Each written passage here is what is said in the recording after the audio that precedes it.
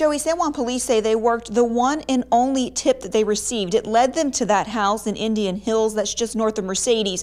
Unfortunately, the two men arrested were not the men they were looking for in that aggravated robbery, but they had no way of knowing that until they questioned them.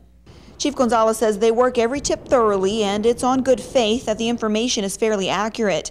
He says when they arrived at the home located on Mesa Street in Indian Hills, one of the men took off through a field. They were able to catch him and after questioning both realized they were not the same two men who allegedly robbed America Cash Pawn in San Juan last weekend.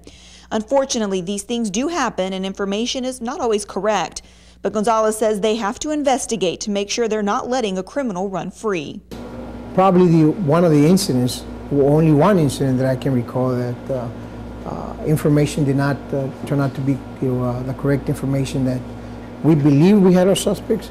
We got there, one suspect ran, we, we strongly believe that we had our suspects or robbery suspect based on the information provided to us and, and the information that we corroborated. Gonzalez says they've solved numerous murders, kidnappings, aggravated robberies, and property crimes through the good faith tips. He's hoping this one doesn't deter people from continuing to call Crime Stoppers. He adds if people aren't satisfied with their operations or officers, they can file a complaint with the department. He wants to make sure that they provide the best services that they can to the city. In our Hidalgo County Newsroom, Katie Lopez, Action 4 News.